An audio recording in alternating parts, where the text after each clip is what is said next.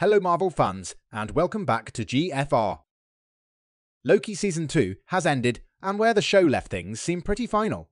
So you're probably wondering if Loki Season 3 is happening. For the Loki hopeful out there, we have good and bad news. First, the good news. The future! My friend! Tom Hiddleston is in no hurry to leave the role of Thor's moody younger brother. In 2021, Hiddleston made the comment that he would hold on for as long as people want me to hold on for. Given that the actor's fiancée, Zawe Ashton, just made her MCU debut as Buddy Dar-Benn in the Marvels, it's safe to say that Tom couldn't escape Marvel right now if he tried. Here's the bad news though.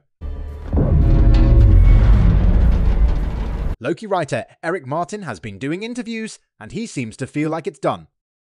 Martin says, quote, we approach this as like two halves of a book. Season 1, first half. Season 2, we close the book on Loki and the TVA. Where it goes beyond that, I don't know.